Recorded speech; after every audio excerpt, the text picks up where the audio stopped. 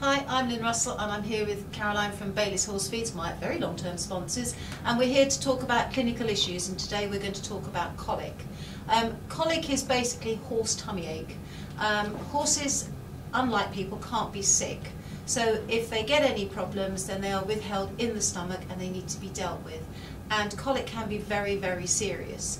Um, one way to avoid colic is going back to these. You need to make sure that the gut is working. So you need to make sure your gut is like this and not like this. And you need to have fibre, high fibre, feed little and often, feed plenty of it, and do remember to give your horse the opportunity to have hay because the more he's eating fibre, don't you agree, the less chance he is going to get colic.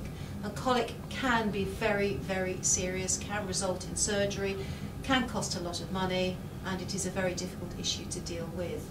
Um, we, touch wood, are quite lucky that we don't have too much of it. Um, but again, I put that down to the way I feed.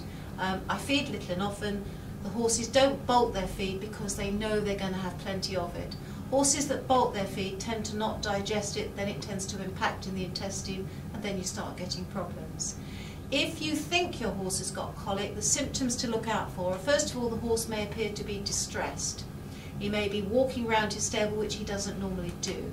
He may look round at his stomach frequently. He may pick up his foot and start kicking his stomach because he is in pain.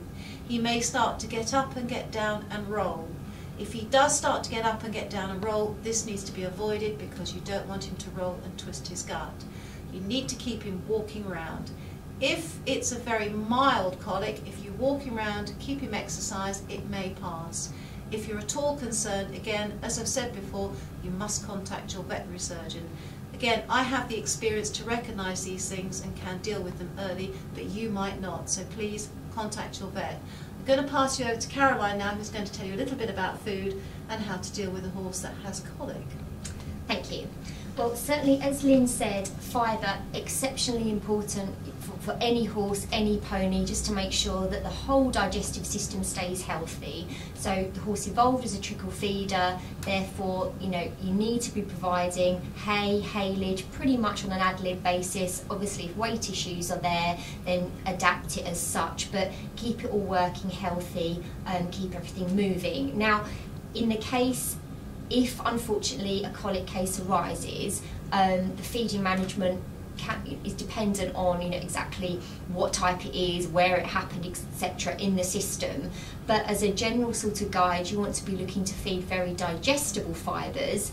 Now, haylage is often more digestible than hay, so can be the, the, the preference of fibre choice in, in certain cases. I just want to add a point about haylage, if yeah. I might. You do want to make sure that your haylage is quite dry, because if it's wet, sometimes that can encourage colic.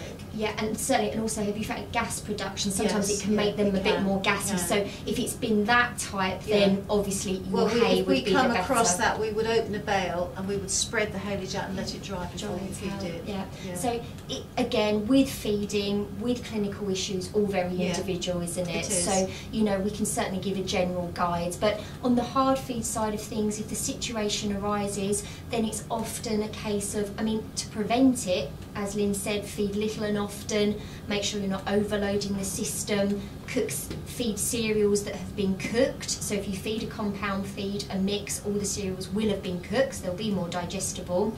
Um, but if the problem arises going forward, looking to make sure that you perhaps feed the meals smaller with the use of a balancer. Yeah, there's another little tip too. Um, if your horse is a bolter, then the best thing to do is go down to the beach, go and get some nice big rocks, yeah. put it in the manger yeah. because it will stop the horse gobbling his food. Yeah, um, because horses are pigs. Some yes. of my cobs are real pigs. You put the feed in one minute, it's gone the next. That's right. So, so and, and, using the things like the chaffs. Yeah. Do you find? I mean, Lynn uses a lot of the chaff, don't I you, do. to help slow them down and help them digest it all sort of efficiently. so certainly, all those tips will will help to keep a healthy horse. And plenty of water. Indeed. Horses need water. Yes, very important. More important. Yeah. I hope you found these tips useful. I'd like to say thank you again to Caroline from Bailey's Horse Feeds. And please, if you do have any issues with things that we've gone through, do call your vet because your vet is qualified to deal with. We're only here to give you a guide. Thank you very much.